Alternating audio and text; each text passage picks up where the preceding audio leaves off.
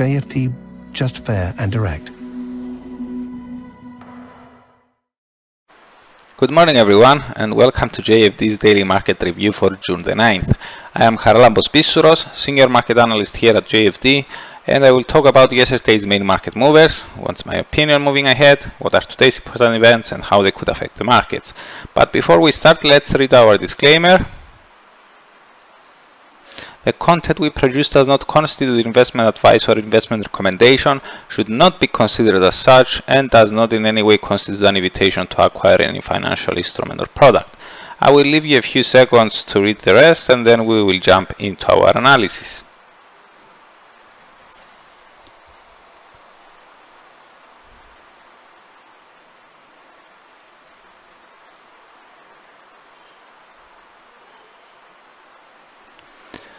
Okay, the dollar traded lower against uh, the majority of the other G10 currencies on Monday and during the Asian morning Tuesday.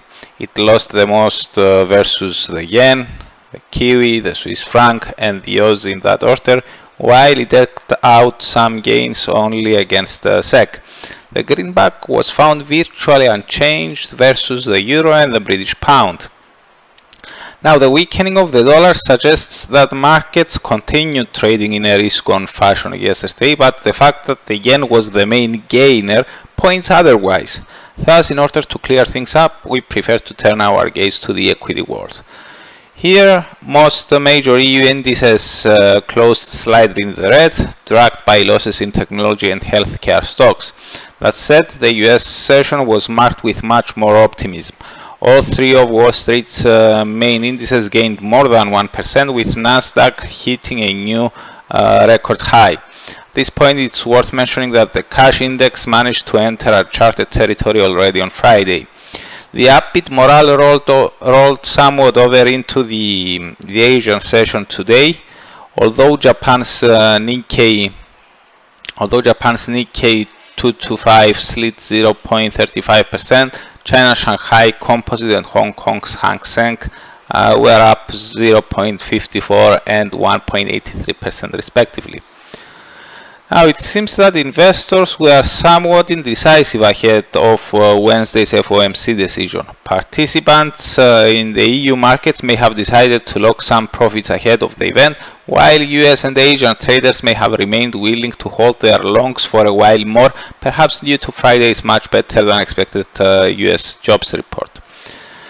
The report revealed that uh, the US economy added 2.51 million jobs instead of losing 8 million as the forecast pointed, with the unemployment rate falling to 13.3% from 14.9%, beating estimates of a surge to 19.7%. In our view, this suggests that the worst with regards to the coronavirus is behind us, but it remains to be seen whether Fed officials will share that view as well. If they do, this could help equities and risk-linked assets, assets to continue trending north as investors abandon safe havens. Despite the recent uh, tensions between between China and the US as well as the civil unrest in the US, market participants may have been placing more bets over a quicker than previously thought global economic recovery as governments around the globe around the world keep easing their restrictive measures adopted a couple of months ago aimed at controlling the fast spreading coronavirus. Among currency pairs, uh, despite the latest recovery in the yen, the ones that may perform uh, better in such an environment may be those consisting of a risk-linked currency and a safe haven, like Aussie dollar, Aussie yen, Kiwi franc, etc. etc.